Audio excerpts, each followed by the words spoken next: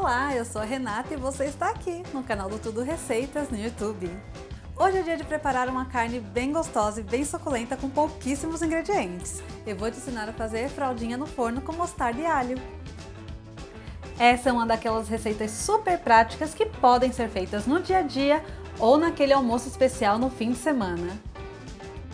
O preparo é super simples e o resultado delicioso, você vai adorar.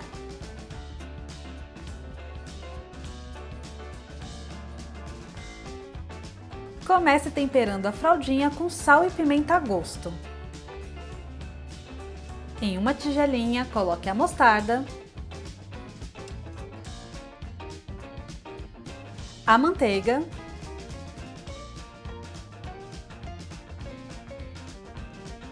o alho e misture bem.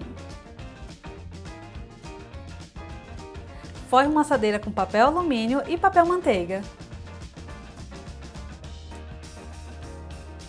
Passe a misturinha de mostarda na carne, espalhando bem por toda a peça. Transfira a carne para a assadeira e espalhe a mistura de mostarda do outro lado.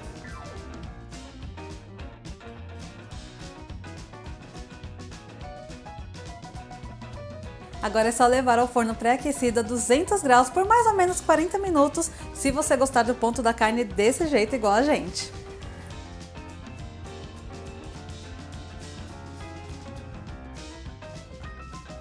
E é isso, sua fraldinha no forno com mostarda e alho tá pronta!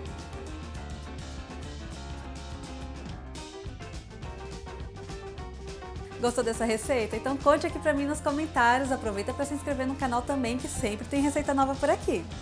A gente se vê no próximo vídeo. Tchau!